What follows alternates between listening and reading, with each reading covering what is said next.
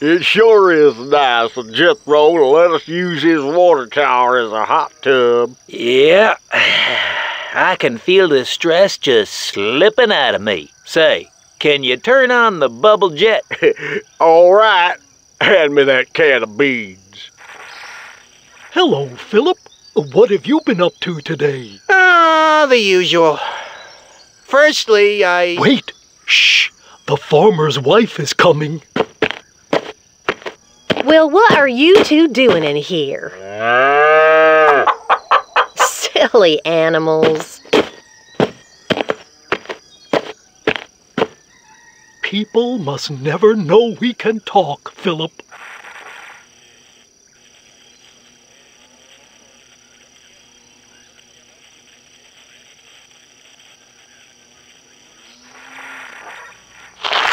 Dear Diary, Day 34.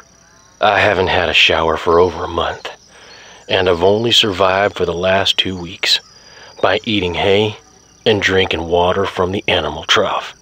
Some days I wonder if it's really worth it. But when I think about the alternative, it gives me strength. Whatever happens, I will not lose this game of hide and seek.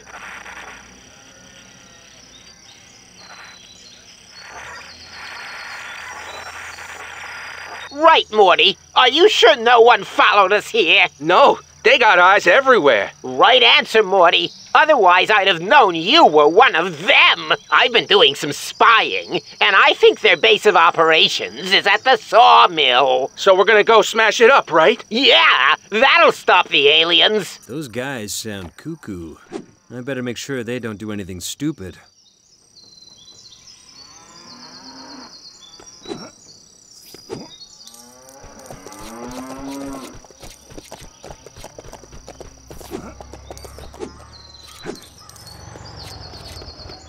This is an emergency.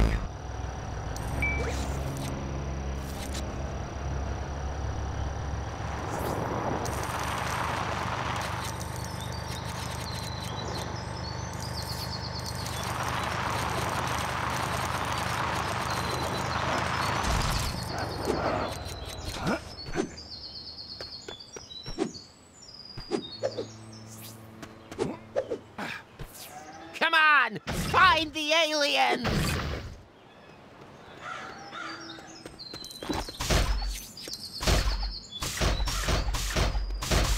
It's one of them. Stop him. Not again.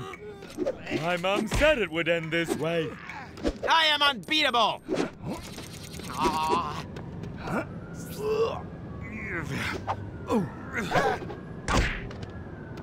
See you later.